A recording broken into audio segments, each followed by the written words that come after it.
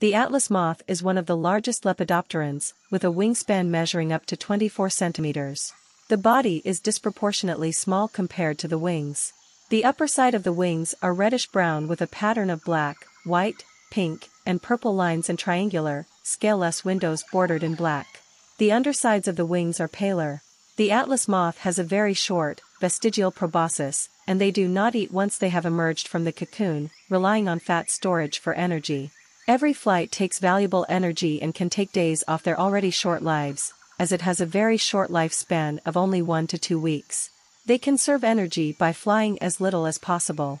A female will wait for a male to come along and be fertilized, lay eggs and die. Their habitat is primarily dry tropical forests, secondary forests, and shrublands across South Asia, East Asia, and Southeast Asia.